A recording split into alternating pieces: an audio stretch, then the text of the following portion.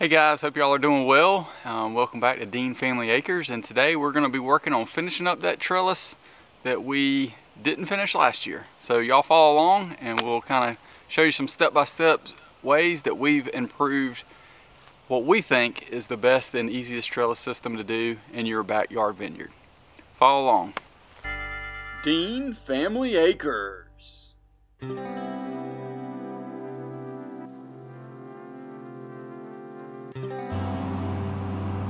All right guys, so you can see the trellis post we've got here and then the other one back behind me. Whoop. And uh, what we're gonna do is, last year we got these posts in and we actually ended up planting one vine on this row. It is a late fry. Um, we're going to be incorporating two more muscadines. We might get that in this video, we might not in this uh, row. Um, but what we're gonna do is basically uh, we're gonna put our wire and our gripples in and um, just kind of do a little bit of step-by-step -step for you guys. Hopefully you can learn just a little bit as we um, have throughout a couple years of us doing muscadines and uh, just looking forward to what we've got coming along. Um, hopefully you guys are out and about on the few days that it's not pouring rain and or um, freezing cold and just getting those things done and ready before uh, spring hits. So let's get started. All right guys, so last year we put these in right at five feet. Um, I think on this side we're gonna check both posts and see if we have enough height. Um, but I think we're gonna try and go a little bit above five feet. If you just kind of measure it out and think about where those um, vines, your, your cordons are gonna come and then you're gonna have the, the vines actually coming down. And uh, if you kind of just want to think through that, and where you're going to be harvesting from, you don't want to be leaning over, you don't want to be reaching up. So just kind of think through that in regards to your height. Uh, I do believe if we have the height on these posts, we're gonna put it just a little bit higher. So let's check that out.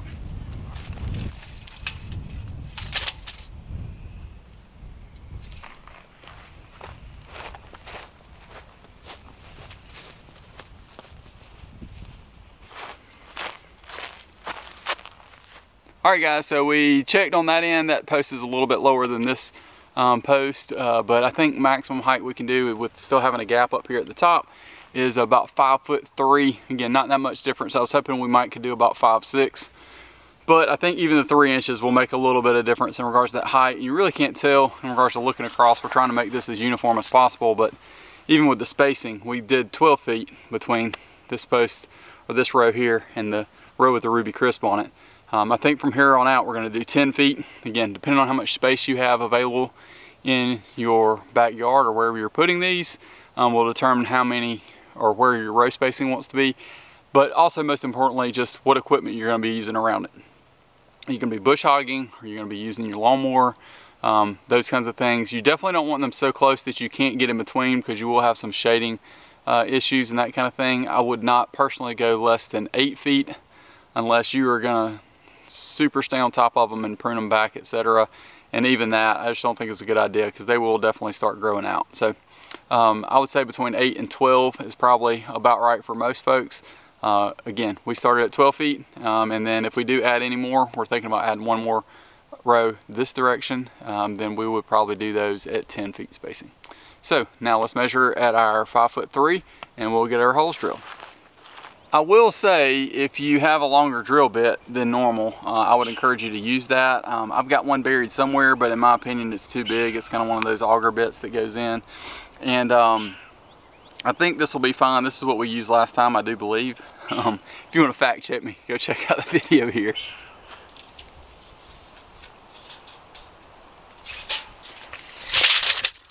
The next thing you want to check is just making sure that you're lining up um, that you're not like, you know, putting it over here and then you your wire's going to kind of pull across. You want it to be as straight as possible when it's coming in here.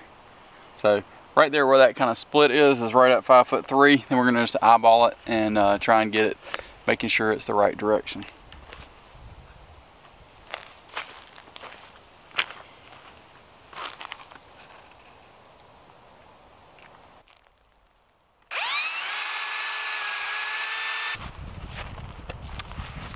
Now, what you wanna do is you wanna make sure where your hole's coming across here, you're gonna come from this side and drill in, um, mainly because our drill bit just was not big enough or long enough.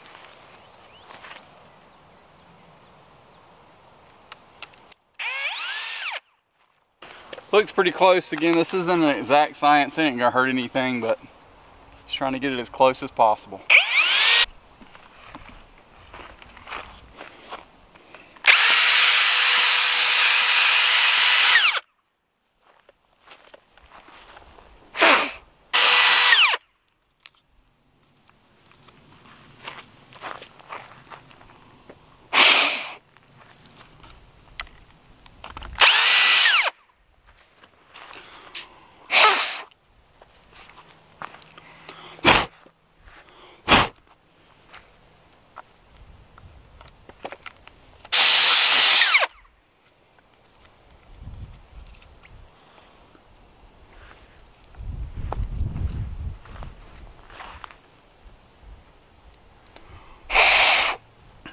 All right guys, now that we got the wire vise in, um, it lines up almost perfectly straight, close enough, and uh, we can see straight through the hole. Um, so that looks really, really good. And what we're gonna do is we're gonna go to the other side and do the exact same height. Um, and we're going to wait to put the wire in here until we get on that end for a couple of different reasons. Um, one of the main reasons is it's really, really wet today. And if we do end up needing to um, bring the tractor up here to be able to pull against, um, then I don't want to do it on that end down there because that end it will be a little bit more soggy. So anyway, let's run to that side.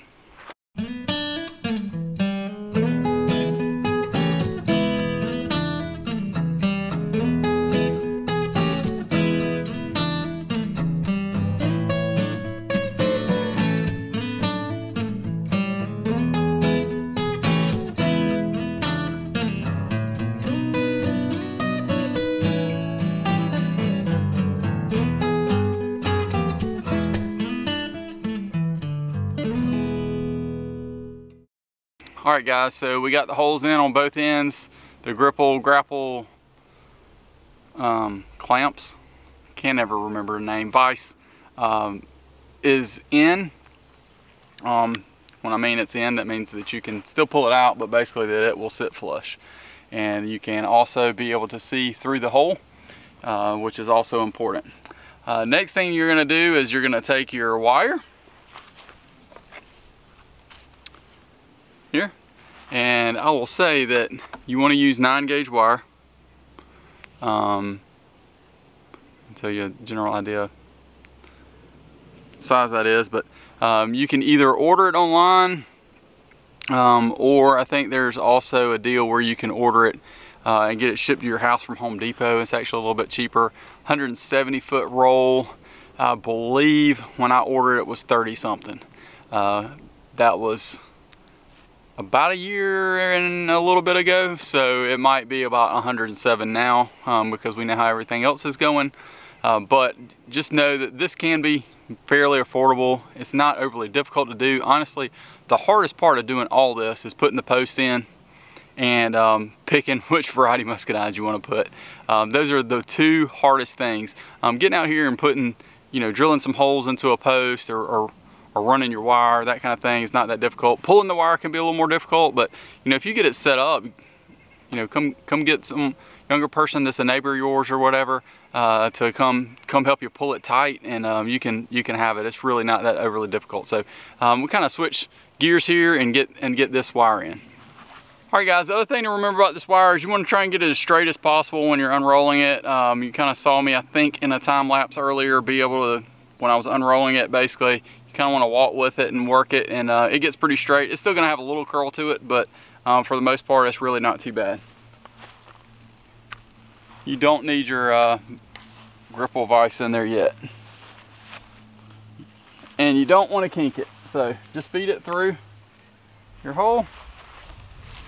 And once you get that fed through, then you can very, very carefully take your uh, gripple vise and insert it in I will say you want to be careful. I had one that kind of caught a little funny on me last year and it ruined it. Basically these teeth that are inside of here,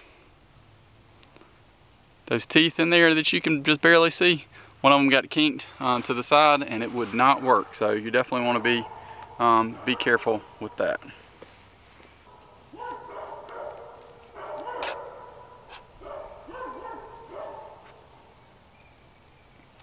All right, as you can see, once you get that stuck through there, um, you wanna pull it and give yourself, I'd say at least about six inches. Um, you're gonna want more than that, but when you cut it on the other end, you're gonna have slack to be able to pull back, back and forth, um, unless you were Hulk Hogan or somebody super strong, Mike Tyson maybe, um, then there's no way you're gonna get this tight enough on that first cut uh, to be able to get this where you're gonna need a full foot on each end.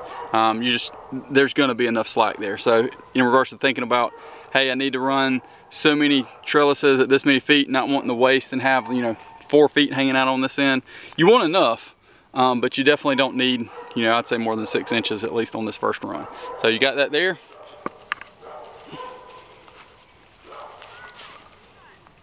Pull that back and you got it in.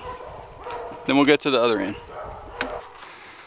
So, um, as y'all can hear in the background, my dogs are going absolutely nuts, and that's because um, one of my neighbors um, up the road, their kids riding the bicycle down the road.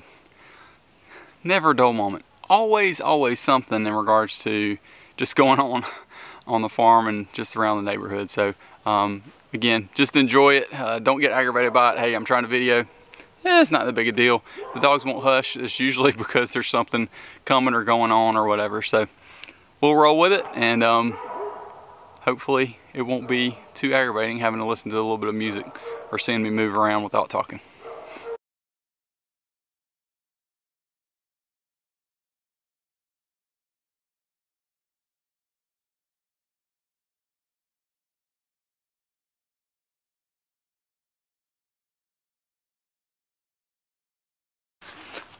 Alright guys, so once you get um, the wire pulled up and it's as straight as you think it's going to be, again it's not going to be perfect, um, then what you're going to do is you're just going to grab your bundle um, of wire and you want to pull it and just make sure that you're going to have plenty to be able to pull it through. Again, this is where you want to make sure you've got enough. Um, you don't want it to be short or having to be fighting it to pull it through. So it's okay to use a little bit extra on this end, um, but on that other end when you first start, that's why you'll see in a minute, but that's why I specifically say, you know, you don't need a foot, two feet on that on the other end. So when you start doing this, um, you're gonna want that extra to be able to pull it, basically get it pulled up tight, especially depending on how long your trellis actually is.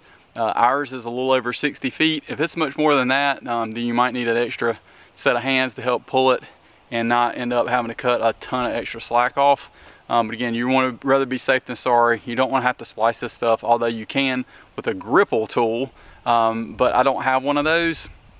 Um, but that is a, an option that you can use. Um, you can also um, kind of tie them together, that kind of thing, but gripple tool is the way to do it if you do ever have to splice this stuff. So let's see if we can get this uh, adjusted.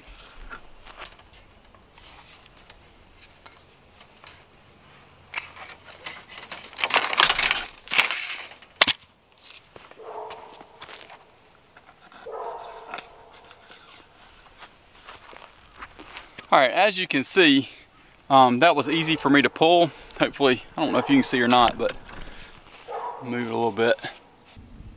You know, a solid foot on this end, and it's still drooping. It's still drooping by, I'm not even sure how much, but hopefully that makes sense for y'all. Um, I just wanna make sure that people don't cut it, ends up short. That's your worst nightmare, don't do that. So once you do that, just again, remember, um, you wanna be careful not to mess up those teeth that are in there. Uh, and I will say, if you have a really bad boogered up spot on this end, um, you might want to clean it up just a little bit.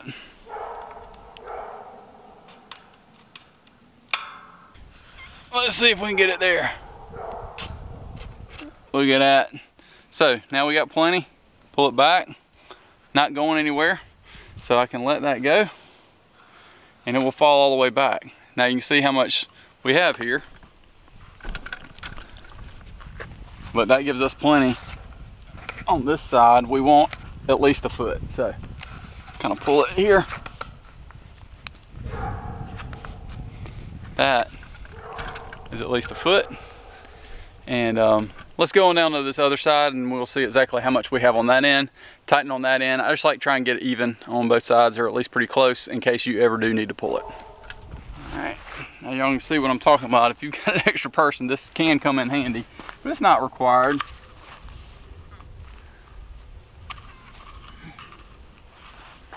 another helpful piece that I left on the other end down there is uh, you got vice grips, clip it on the end and pull it.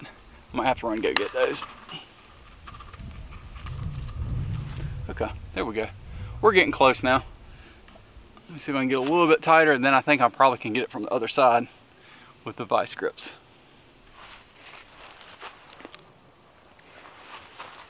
Fairly certain that's all I'm gonna get with uh, it being um, by hand and not using those vice grips. So we'll go to the other end and tighten up a little bit.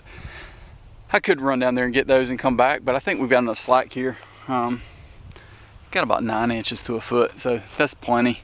And um, we'll need to be able to tighten it just a little bit more anyway. Um, we kind of let you, I'll flip this around and let y'all see exactly how tight it is. It's pretty good, but um, it's definitely not as tight as I'd like it.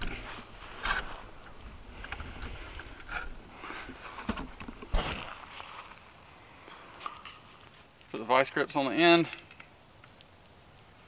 You also can put it up near the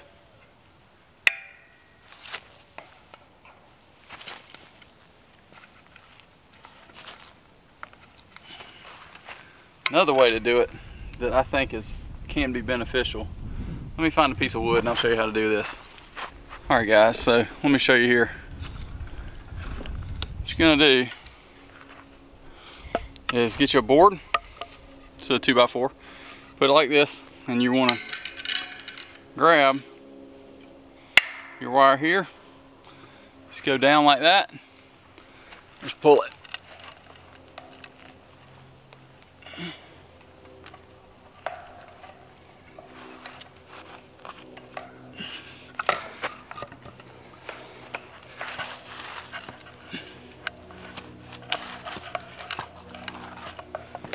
Okay.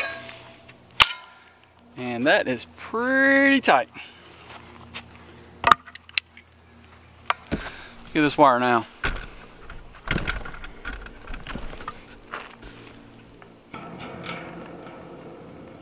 Got a little wiggle to it, but not much at all. I think that'll do. All right, guys, so some of our regular viewers might recognize at least a portion of this pile. And um, this is the last episode that we had from the $1,000 barn build and unloading this lumber and stuff, which is now covered with pine needles. That gives you a time frame, but we are looking for some of those right there. And um, we need them to be taller than, um, I think five and a half foot is what the other ones are.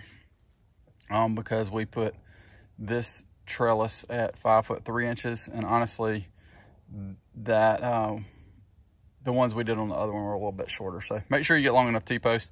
Um, but we had to come over here and find these. We had one over there by the trellis that I had found that was taller. We're gonna check these and see if they are or not. We might have to paint them just to make them look a little bit nicer um, than what they are now and maybe match the other ones. All right guys, after you figure out um, your wire and you get all that set and it's at the right height, you've got a pretty decent tension on it. Again, it does not have to be perfect at this point. But once you get that set up, then you need to come back and you want to put your T-post in. Some folks go ahead and put their T-post in. I personally like to use the wire to help me kind of line up exactly where I need to do that. Um, if you've got even spacing with your muscadine plants, then that kind of gives you an idea of exactly where you need to put those T-posts. Um, some people do like to put them right next to the vine. That's totally fine if you want to do that. Um, what we're going to do, at least for now, is we're going to do like we did on the other side, and we're actually going to put a T-post at the end point for each variety. So that way you know where to prune. Um, and there's no over overlapping once they run the distance. Um, ours are a little, little over um, 10 feet from each vine where it's planted to the T-post. And um, but the reason it's like that is because I paced off my trellis. And again, we ended up at I think 62, 63 feet versus 60 feet, which would have given 10 foot spacing um, in between the vine and the T-post on either side for a total of a 20 foot spacing. So we're basically at like 21 feet approximately. Um, yeah, so hopefully that makes sense for you guys. Um, I will say, make sure you get a T-post that's long enough. Y'all saw us hunting for that over there by the under $1,000 barn build. If you hadn't watched that series, definitely check it out um, right here. Uh, we need to finish the under $1,000 barn build. Even though it's is anything really ever finished, we need to wrap up a couple different things, mainly at least one lean-to off the side just so we can start parking some of our tractor equipment, three-point hitch equipment, etc.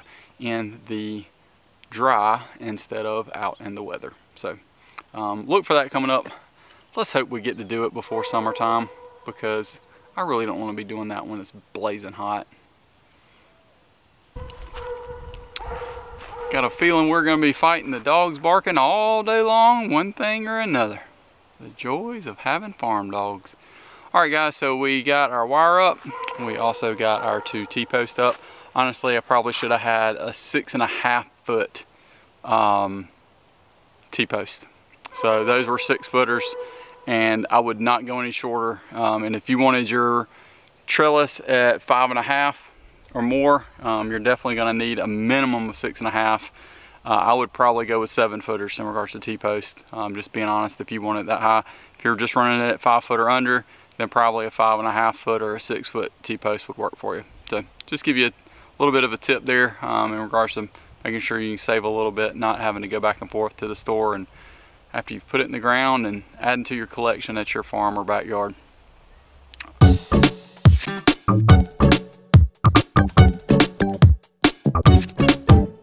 All right guys, so we're gonna walk down here and try and get this wire pulled back from the other post there, uh, all amongst while the dogs are going absolutely nuts today. So um, let's see if we can get this stuff pulled and uh, get us a wire up so we can then know exactly where we need to put our muscadines. Um, when we planted this late fry, we kind of eyeballed it. Sometimes that works, but that's also why I've got about 63 to 64 inch trellises and not 60 foot. So, um, you know, try and decide where you want to eyeball it and where it doesn't really matter. All right, guys, test. Test one, two. Test one, two, three, four.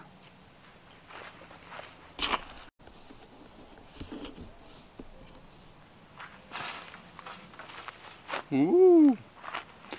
Hello there, people.